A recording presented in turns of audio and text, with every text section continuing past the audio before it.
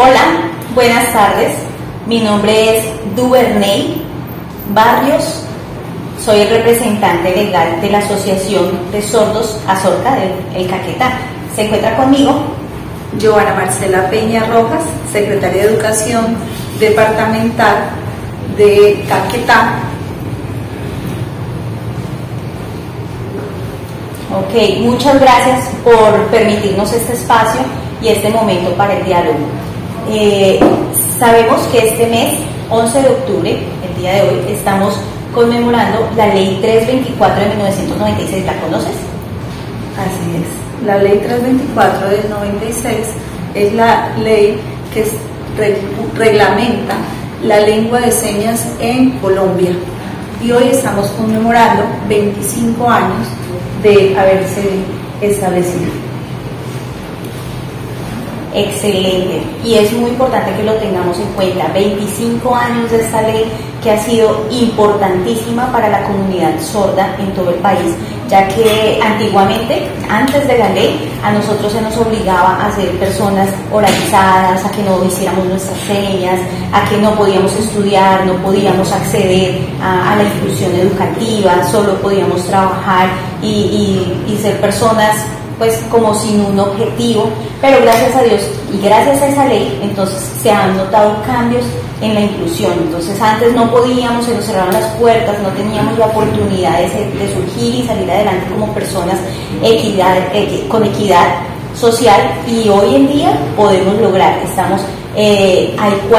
32 asociaciones en el país y entonces esto nos llena de orgullo porque ha sido una lucha constante, ha sido un apoyo eh, general y siempre hemos tenido como eh, la necesidad de seguir luchando y encontrar las puertas necesarias. Hemos logrado inclusión educativa, hemos podido tener accesibilidad a la educación, no solamente eh, de primaria, secundaria, sino también universidad, institutos tecnológicos, escena, diferentes campos en los que nosotros podemos seguir progresando. Entonces estos 25 años han sido maravillosos para nosotros, la población, porque siempre nos ha ayudado a, que, a tener ese acceso y aquí en el Caquetá, pues nos gustaría que nos contaras cómo ha sido el proceso.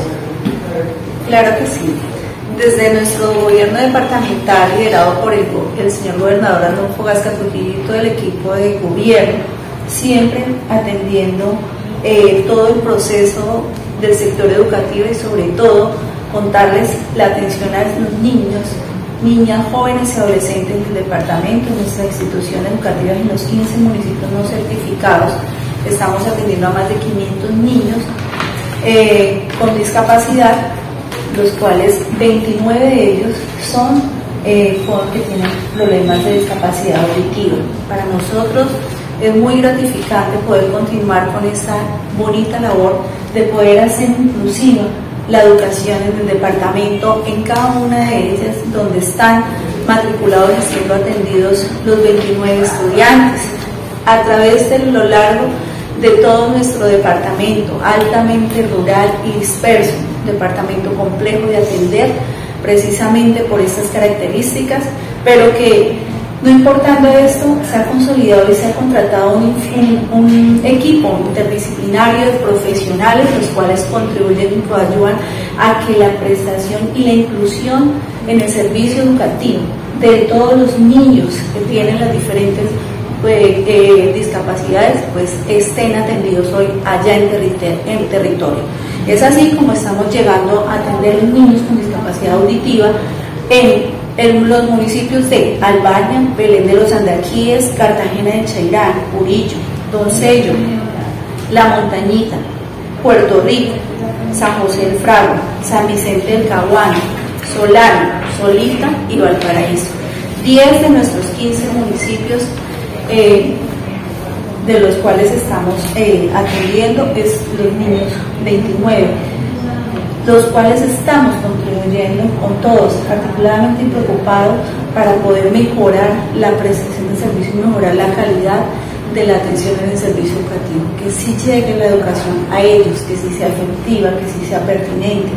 Y hemos realizado también muchísimas acciones, muchísimas que contribuyen a que ellos sean, eh, se den esa garantía de la educación a cada uno de ellos. Hemos realizado más de 13 capacitaciones en lengua de señas realizadas en todos estos, en los 13 de los 15 municipios. También hemos realizado capacitaciones en instituciones que tienen estudiantes incluidos con discapacidad auditiva a 28 niños personalizadas. También talleres 10 talleres hemos realizado a los padres de familia, porque con todo el proceso y más en el marco de todo el abordaje de estos grandes retos y más como nos ha tocado afrontar desde, desde todos los roles esta pandemia,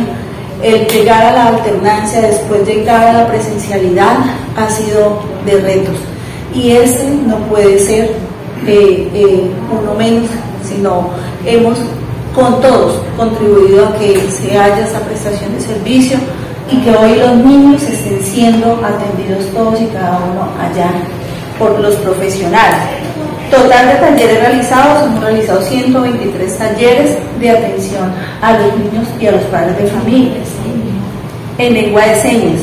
total de videos realizados, 21 que lo podemos encontrar a través de las páginas de la página de la Secretaría de Educación www.caquetá.gov.com y a través de la gobernación de Caquetá.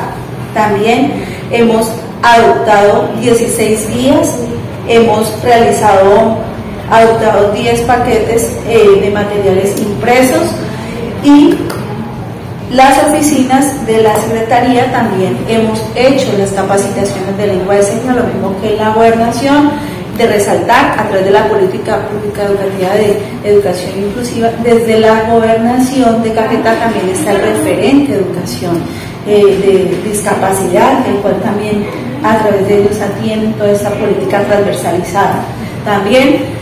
como parte del Consejo Superior de la Universidad de la Amazonía se viene trabajando el proceso de inclusión y también de lengua de señas desde la Universidad de la Amazonía y asimismo con el SENA es muy importante esta articulación y todo este trabajo en pro de visibilizar el trabajo y sobre todo la atención que se hace, todo el esfuerzo que hacemos cada uno de nuestros roles para poderlos atender. Es muy importante resaltar que también el señor gobernador ha dispuesto los recursos eh, que nos asignaron al departamento del Caquetá a través del FOMPEP para hacer compras de elementos y material eh, para, para toda la población discapacitada, material diferencial, el cual vamos a estar entregando, así como ya se hicieron otras entregas a los niños con discapacidad visual. También estamos articulando con los alcaldes, con las secretarías de, de, eh, salud, las secretarías de gobierno, inclusión social en los municipios, para poder tener esos cupos de algo muy importante, para algo muy importante, para certificar la discapacidad a los niños, niñas, jóvenes adolescentes que están siendo atendidos a través del sistema educativo. Es un, es un problema muy grande no tener eh, certificados y estamos asumiendo ese gran reto y si Dios quiere ya para el año entrante están eh, certificados, estamos haciendo ya precisamente que se haga a través de las diferentes eh, instituciones de salud y todos los aliados poder llevar a cabo este certificado de discapacidad que es fundamental en el sector. Y así también los ajustes a los, a los Ellos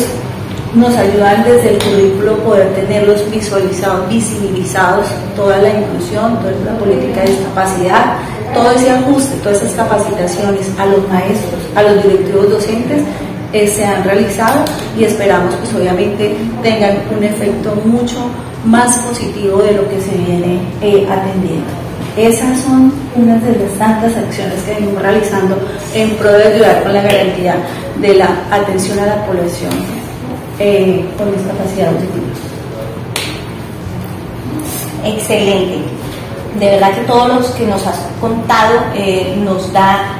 mucha alegría porque vemos el proceso. Ojalá podamos seguir por ese camino, todos los proyectos, los compromisos, los planes que tenemos en nuestros pueblos, en especial en, los pueblos del norte y del sur del, del departamento. Es muy importante porque de verdad que sentimos que la equidad que los niños sordos allá necesitan, pues es muy importante. Qué bueno que el Ministerio de Educación pueda seguir viendo estos proyectos, pueda seguir aportando, pueda seguir ayudándonos para poder guiar niños, niñas, jóvenes, adolescentes eh, que sigan creciendo en un país de fortalecimiento, en un país al que le puedan aportar al país, que puedan ser personas de bien. Entonces, de verdad, muchas gracias eh, por todo el trabajo que en tu rol has desempeñado.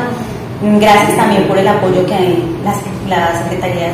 mediante la gobernación nos ha facilitado con los modelos lingüísticos que tenemos, los intérpretes. Ojalá que de pronto se pueda seguir dando las contrataciones de manera temprana, porque a veces hemos notado que los niños eh, tienen el servicio o el apoyo a partir de marzo, abril, entonces de pronto se pierden algunos meses y qué bueno que podamos tener la equidad como los niños oyentes, cuando ellos ingresan el primer día de clases pues que bueno que los otros también cuenten con sus apoyos, en este caso el modelo lingüístico del intérprete, para que ellos puedan tener la equidad en sus conocimientos, en sus aprendizajes y entonces podamos eh, seguir trabajando en pro de un Caquetá mejor, de una juventud que no esté atrasada en cuanto a, sus conocimientos y que los artículos que se desprenden de la ley 324 eh, en esta ley entonces se puedan como fortalecer eh, hemos notado cómo la Secretaría de Gobierno ha hecho todo lo posible, de verdad lo agradecemos mucho y sabemos que obviamente eh, podemos seguir trabajando, podemos seguir mejorando una caqueta mejor y nos sentimos muy orgullosos de ello. Muchísimas gracias y de eso se trata entre todos poder construir eh, precisamente una de las complejidades mayores es la alta, la dispersión y si es importante de pronto el incremento de esos recursos para poder nosotros eh, generar profesionales eh, más personalizados por precisamente la atención que merecen y que reviste pues la atención a la población con discapacidad en todas, sus disciplinas. Listo, perfecto. De verdad que continuamos conmemorando este día con mucho gozo, con mucha alegría y queremos que esto se siga dando y el apoyo que la Secretaría nos ha dado siempre, eh, pues es muy importante para la lengua de señas, dignificar la lengua de señas de las personas sordas. Entonces, feliz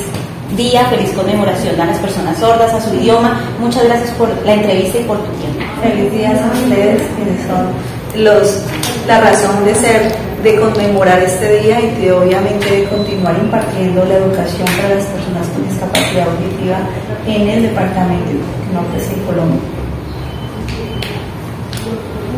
Ojalá que podamos seguir trabajando mancomunadamente y muchas gracias por el tiempo.